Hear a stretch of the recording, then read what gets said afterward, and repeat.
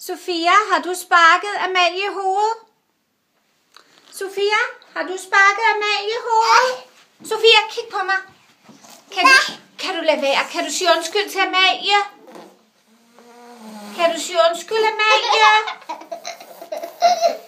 Ej, I skal altså heller ikke have de sutter, når vi skal ud og handle. Sofia, kan du sige undskyld til Amalie?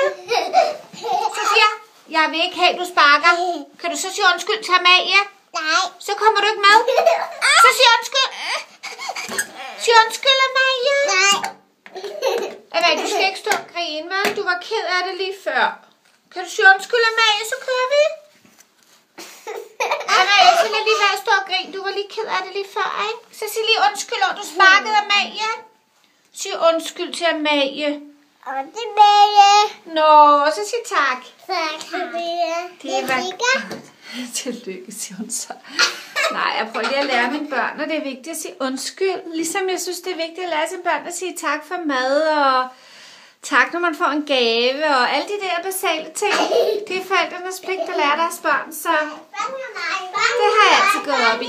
Så, så, kom, nu skal vi bilen. Jeg tager lige nøglerne med.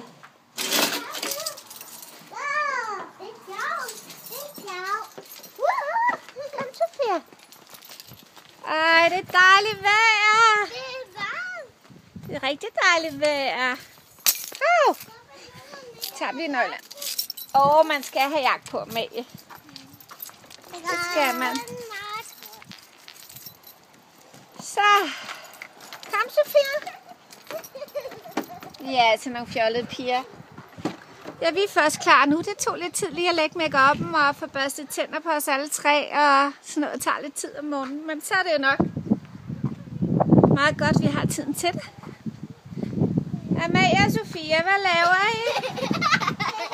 Amalie og Sofia. Nu hører jeg lige, kom så. Nu er det i bilen. Nu kommer jeg. Amalie, du går ind her, skat. Og jeg tager Sofia. Sofia Filippa. Så tror jeg lige, jeg slukker den, så jeg kan få spændt de her små piger.